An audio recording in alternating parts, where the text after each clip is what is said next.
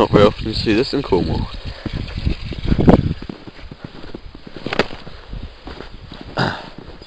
Too bad all the batteries are bad and we can't start the fuel car.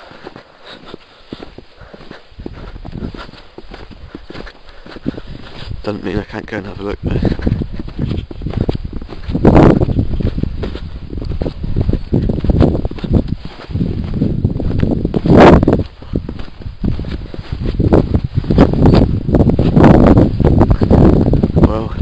The XT.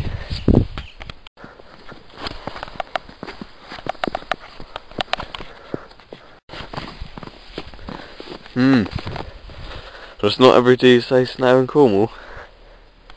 Cold start and a half. Too bad the battery's bad. I gotta go to work, but hopefully Chris will be over later. And hopefully he'll do a video. Look at this. Gonna need some serious ass protection. Sweet.